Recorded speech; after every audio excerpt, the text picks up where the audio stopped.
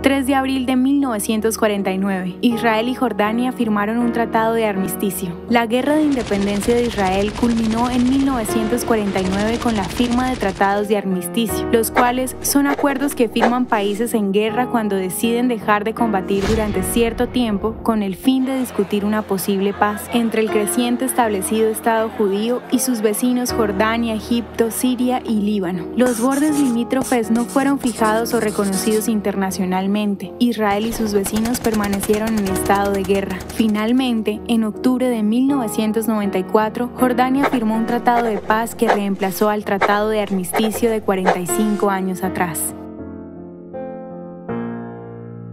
¿Te gustaría recibir estos audios en tu WhatsApp? Compartimos nuevos episodios todos los días. Suscríbete sin costo alguno ingresando a www.hoyenlahistoriadeisrael.com. Hacerlo es muy fácil. También puedes encontrarnos como arroba hoy en la historia de Israel en Instagram, Facebook, Spotify y otras plataformas digitales. Comparte este audio para que otros conozcan más acerca de Israel. Este proyecto es realizado por Philos Project. El contenido original de hoy en la historia de Israel fue provisto por el Centro para la Educación sobre Israel.